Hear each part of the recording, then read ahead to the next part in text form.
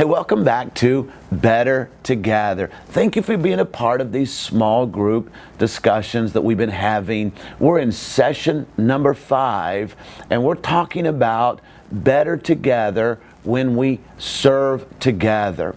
We've covered a lot of information so far, but today we want to talk about when we serve together we're better. You know, here at Capital Christian Center, we have what's called our discipleship classes. And in 101, we learn about how to be a part of God's family. And 201, we learn about how to grow in our spiritual maturity. And in 301, we learn about our shape and we learn about our ministry that God has for us and how we're to serve Him here on this earth while we're preparing for eternity.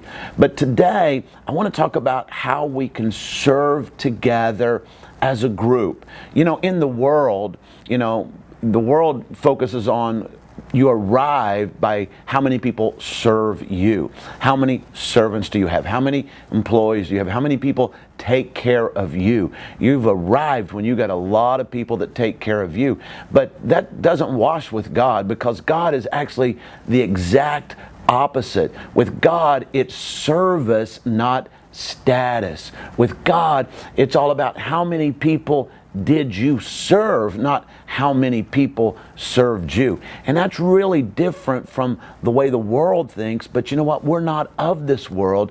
We are the family of God, and God wants us to serve together to have an impact. Now, remember, there's a couple distinctions. Every believer has a ministry in the church and a mission to the world outside the church. So we have a ministry in the church which takes care of the family of God, and we have a mission outside the church that reaches out to those that don't yet know God. Ministry is really thinking small. Whose feet can I wash? Who can I give a cup of water to? Who can I open a door for? Who could I warmly welcome? Mission is thinking big. How can we impact the world? How can we reach the rest of the world for Christ? And so every believer has a ministry in the church, which means it's not the four walls, but it's taking care of God's family, His body. And every believer has a mission outside the church, which is reaching people who are far from God and don't yet know God. So, in today's session, I want to talk about four aspects of what our small groups can do to serve together as a small group. It's, it's one thing to serve by myself, but it's better when I can serve together.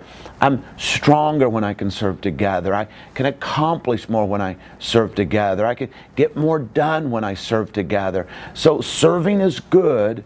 Serving together is better. So here are four things that I want you to think about and talk about at the end of this uh, video that your group can talk about. Number one, groups that serve together make themselves available.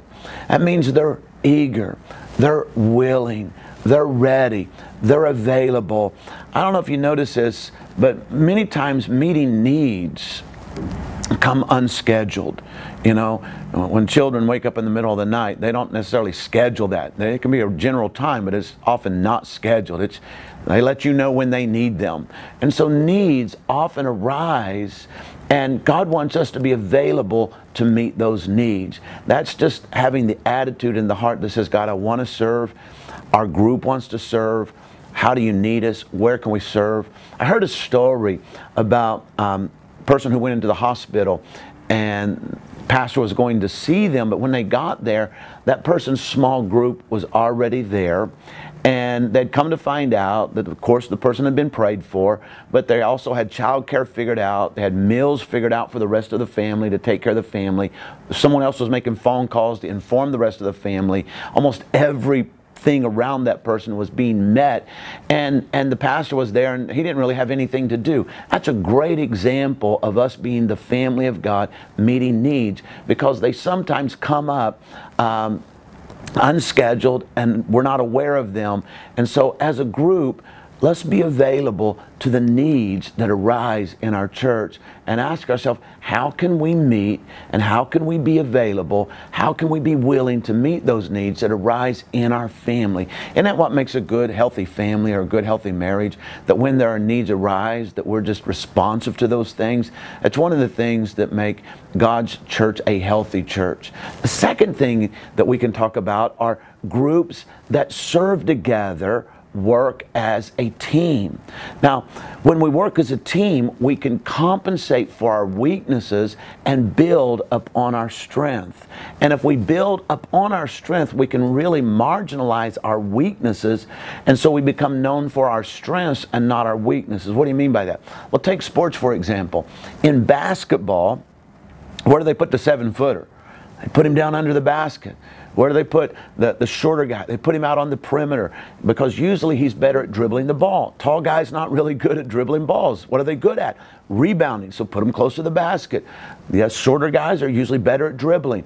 And so we compensate. What you don't want to do is you don't want to put the seven footer out on the perimeter dribbling the ball, and you don't want to put the five two guy down trying to rebound the ball. That's the recipe for disaster. So when we serve as a team, we start figuring out what we're good at. We figure out what I'm good at, what your friend is good at, what your neighbor's good at, and all of a sudden we start identifying our strengths and we start building around our strengths and we start allowing people to serve where I might be weak, somebody else can be strong in that area, and it makes us better. Here's what Ephesians chapter 4 and verse 16 says. From him, the whole body, joined and held together by every supporting ligament, grows and builds itself in love as each part does its work. In other words, every part of the body of Christ has its own share to do, has its own work to do. If you remember back in session three, I used the story of the guy who was carried by four friends to go to see Jesus. And when he couldn't get in the house, they tore the roof off and let him down. Jesus saw the faith of the friends and healed the guy. But I want you to think about this. That was a team working together. One person had a need, others carried their friend. Now, can you imagine if they all tried to work in different directions? If they all tried to uh, maybe do it instead of carrying him, they took turns carrying him. I'm gonna carry him for a little bit. Now you carry him for a little bit. That would have been exhausting. There's a whole bunch of ways that that could have been poorly done. But what did they do? They put him on a bed and they four of them worked together. They carried him there. Then they got on the roof. Some opened the roof, others were down below helping him get up, pull him up. They work together. We're stronger when we work as a team. Here's why they had the same goals and the same faith, and they released greater ability and power. Here's a question. I want you to really, really think about this question. What could God do in our church if we, our small group, worked together? Every time I think about it, it's like it's just like, wow. Could we make a difference? Could we have an impact? Could we really solve a problem or a need? Could we free up a leader to serve in another place, in another area of responsibility because this need is being taken care of? We can say, Pastor, I got that. You can say to your leader, I, I, you, you go take care of something else. We'll take care of that for you. How awesome would that be? And and what if our all the small groups did that? Wow, are you? Can you imagine the impact we could have serving together, meeting the needs of what's going on in our church family. So I want to encourage you pick an area of ministry, you know, and talk about it and say, where could we serve together? Maybe it's in student ministries. Maybe it's being an usher team. Maybe it's um, you know, helping in the office. Maybe it's making care calls. Maybe it's doing administration. Maybe it's starting a ministry here at Capital Christian Center that maybe there's a need that we're not meeting because we don't have a team to take care of that need. There are things like Celebrate Recovery. Those things just started because someone saw the need. We have support groups that are going in because someone says, I'm going to get trained and meet those needs. We have classes that are happening because someone says, I see a need and I want to help people with that need. See, what are the needs that your group could meet? And if that ministry doesn't exist, maybe we could start that ministry here at Capital Christian Center because I believe God is wanting us to be a great family because we have a great heart to serve. Now, number three, groups that serve together think more about others than they do about themselves. And we think about this. We live in a world, we live in a culture where people spend a lot of time thinking, worrying, fussing, griping over themselves. God has called us as believers to think of others. And that's real, true maturity, but it's also humility. Humility is not, let me clarify that it is not thinking less of yourself. Humility is thinking less about yourself. It's thinking about others, the needs of others. Here's what the Bible says in Philippians chapter 4, verse 2 out of the Message Bible. It says, Forget yourself long enough to lend a helping hand. Point out the truth. Can I just forget myself long enough to serve somebody else? And then Ephesians 4 declares it this way that um, two are better than one because they have a good return for their labor. In other words, God is saying, when I think less of myself and I think about serving and then I partner with others who want to serve, Bible says I get a good return on my labor. Now I want you to think about that.